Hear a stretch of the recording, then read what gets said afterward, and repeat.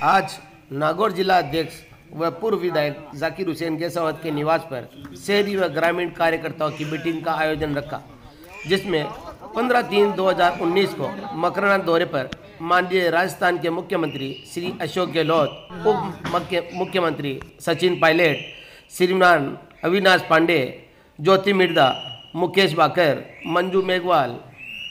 चेतन डुड्डी, रामनिवास गावड़िया विजयपाल रिजपाल मिर्दा और महेंद्र चौधरी के मकराना आगमन पर चर्चा की गई।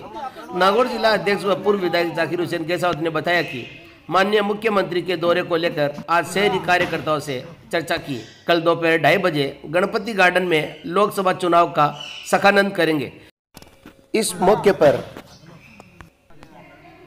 सभापति शौकत अली गोड, पूर्व सभापति अब्दुल सलाम भाटी, उप सभापति अब्दुल समद सिसोदिया, एडवोकेट शरीफ चौधरी मोहम्मद खालिक गजदर पार्षद नूर मोहम्मद बोरा राम डुड्डी, अब्दुल खालिक दिलीप सिंह चौहान बवरा राम डुड्डी आदि कई कांग्रेसीगण मौजूद थे।